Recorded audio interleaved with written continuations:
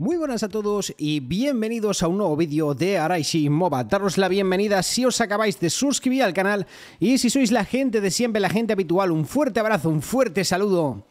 Vamos a ver el nuevo parche que ha salido hoy en el servidor avanzado, que es el 1.7.30.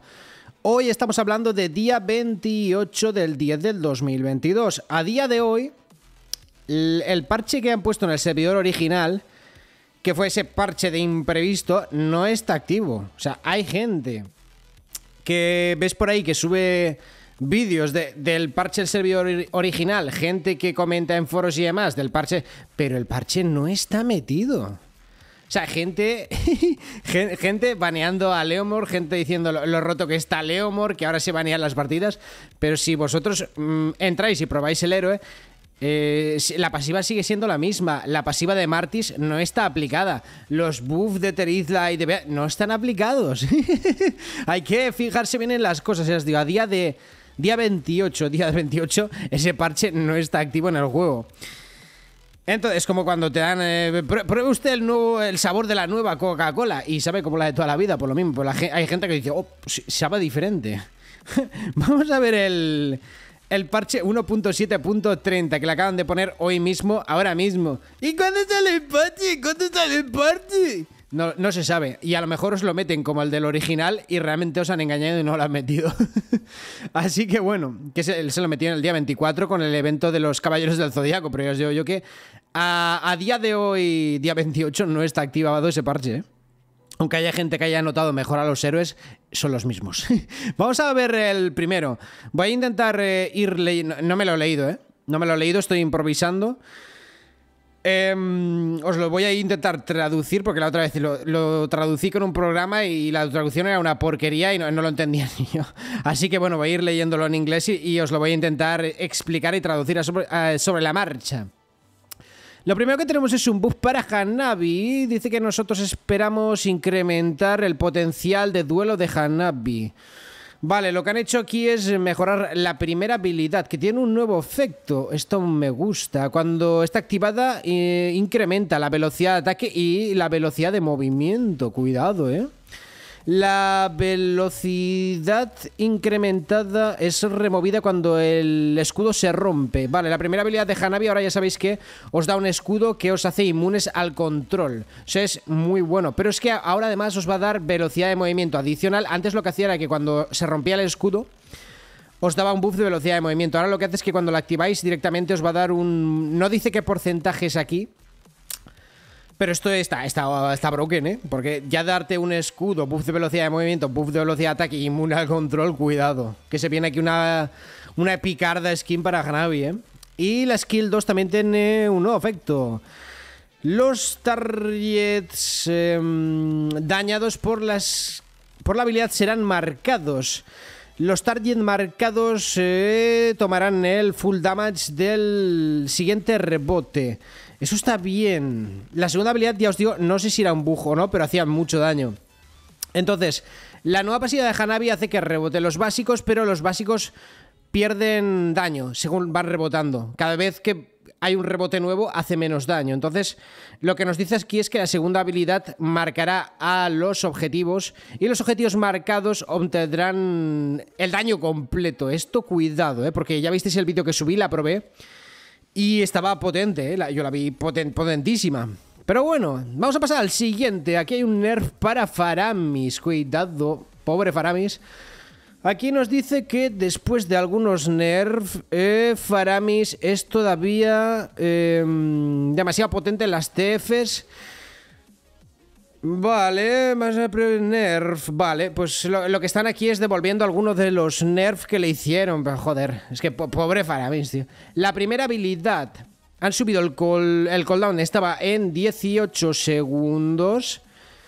Y pasará a 15, ¿no? Pero es que aquí nos dicen que en general es un nerf, pero aquí hay unos buffs, sí. Están revirtiendo algunos de los, de los cambios anteriores. El cooldown de la primera 15 segundos, esto está bien, era necesario y un buff para la segunda, pero aquí sí que hay un nerf para la ulti, ahora, llegaremos ahí.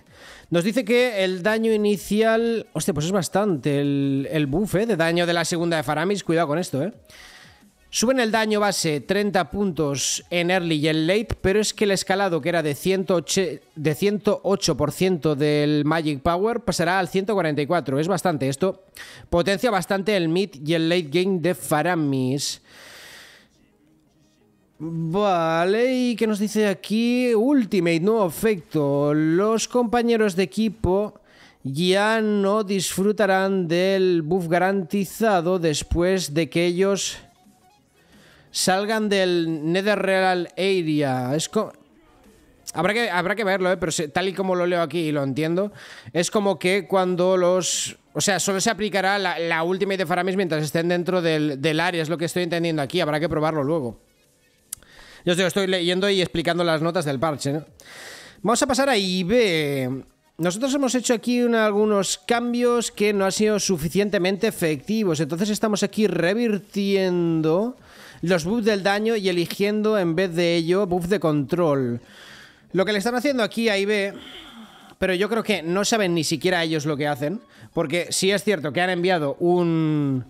Han enviado una encuesta al servidor avanzado para ver qué piensas de dos héroes, de IB y de Aulus.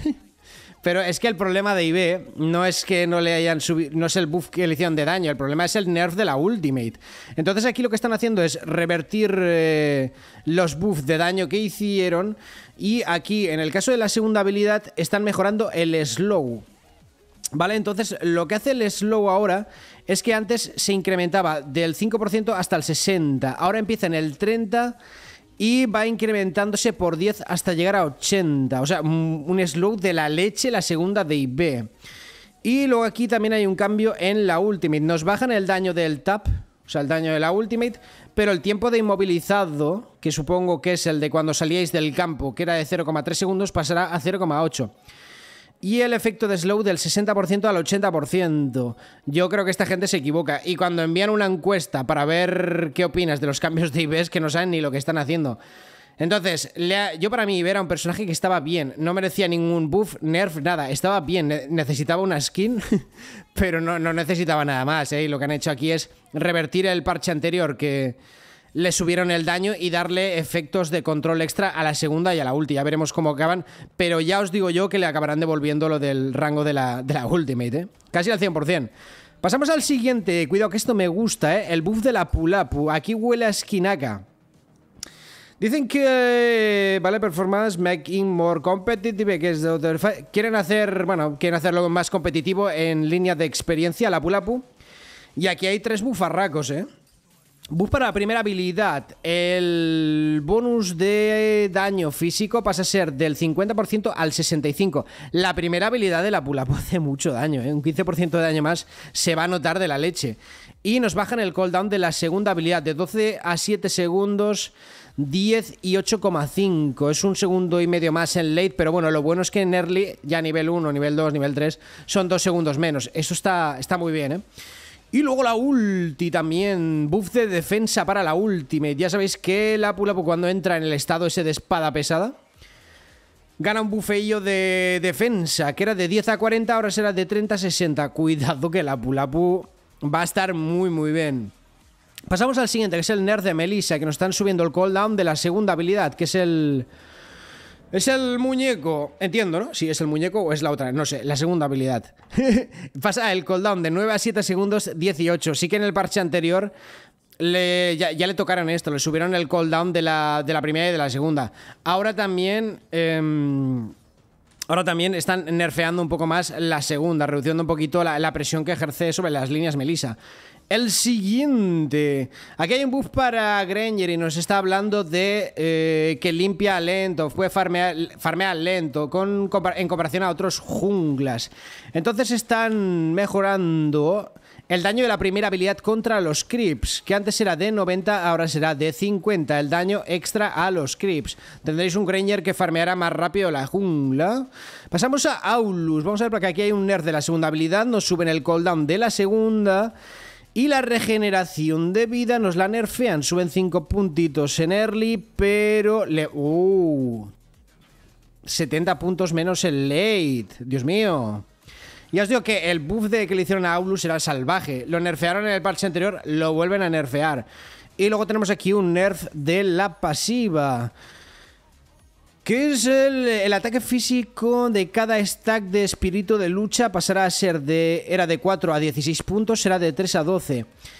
Y vale, y el buff de velocidad de movimiento que también da la pasiva, que era del 15% al 10%. Ya veremos cómo sale Aulus. Yo creo que saldrá un poco mejor de lo que está, pero no tan roto, ¿eh? Y cuidado que hay por aquí un buff para Baxia, no me lo puedo creer. Eh, incrementamos... Uh, me gusta. Es bueno. incrementamos la habilidad de contrarrestar héroes con... Con una fuerte regeneración de vida y bufean la pasiva de Baxia, huele a skin. Porque ya lo están... Ya llevan un par de parches bufeándolo. Target Shield han hecho el, escudo del enemigo y la regeneración de vida. O sea, esto es lo de la marca de Baxia, ¿vale? Que es el efecto de antidrenado. Antes era del 30%, ahora será del 50%. No recuerdo a cuánto estaban los, los ítems de... Collar de dureza y todo eso. No recuerdo cuánto reducía, pero ahora será un 50% Baxia. Interesante. Tenemos aquí, a ver qué es esto, es de defense. Tenemos un buff para Edit. También están buffeando a Edit. A Edit le vienen dos skins, no una, dos. Eh, dice que están incrementando moderadamente el late game y el daño potencial de Edit. Magic Power Conversion Ratio for Extra Defense. Están, ya sabéis que por la defensa extra hace más daño Edit con la Ultimate y pasará a ser de 2,5 puntos a 3,2. Esto se puede notar, ¿eh? Pero sobre todo lo que afectaba aquí era lo de la velocidad de ataque, ya veremos. Pasamos al siguiente nerf, que es el de Joy. Bueno...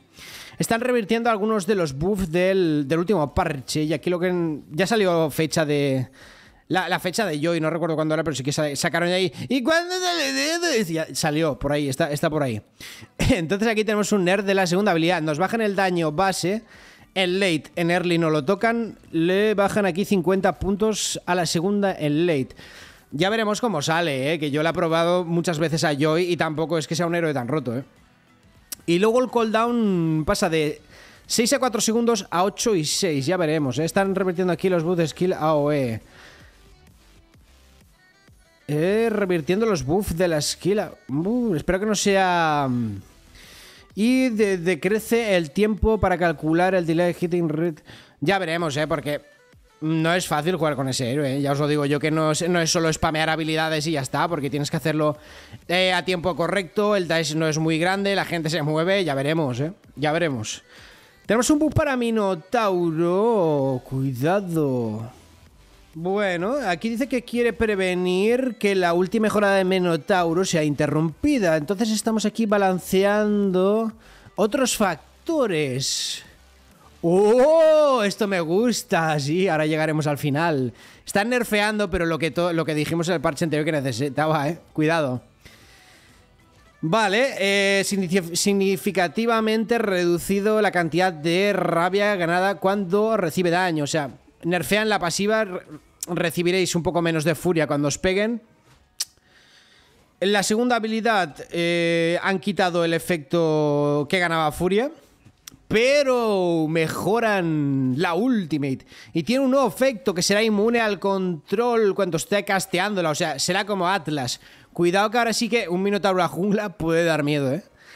Y Incredible Delay on the Cap Effect on the cierre.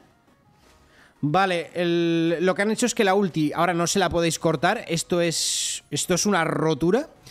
Y luego incrementan el delay, o sea, lo que hacen es el, empujón que mete el tercer martillazo, bueno, el único que mete, que es el tercero, será más lento, digamos que el efecto será más lento, como si los estunearais más tiempo. Cuidado que Minotauro va a estar muy roto. Continuamos aquí con el siguiente, y el siguiente es Vexana, que raro que se acuerden de Vexana.